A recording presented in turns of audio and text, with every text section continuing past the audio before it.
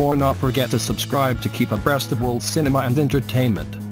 Ten years have passed since Mel Gibson directed Braveheart and won an Oscar for it. Since then he had not repeated experience so far. Hacksaw Ridge is his new project, a movie based on the life of Desmond Doss, a soldier in World War I who refused to carry weapons during the war. I ended up becoming a doctor and have the opportunity to meet many of his peers so he received a Medal of Honor.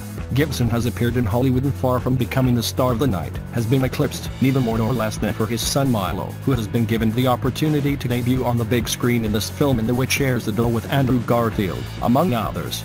During the post-premiere party, Milo full of tension of the spotlights was and that is a replica of his father young. It is 26 years old, is a sixth son of the director and little is known of his life except that he liked to play football in his time in high school, hence it's athletic and he has a girlfriend. Milo comes out with Lindsay Goodstein, better known as DJ Lindsay Rose, with which it shares a life that many would like for themselves.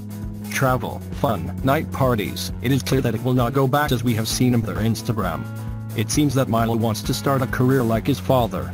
It started in the movie of Mel but already has new project, The Tribes of Palos Verde in which Jennifer Garner will star and he was a surfer who does not like you remove its weights. It looks that if 2015 was the year of Scott Eastwood, 2016 will be the D. Milo Gibson. And they have something in common, do not want to grow professionally in the shadow of their parents, but they are difficult. If you liked the video, prove with like and sharing the video, nor forget to subscribe to be aware of the content you upload every day.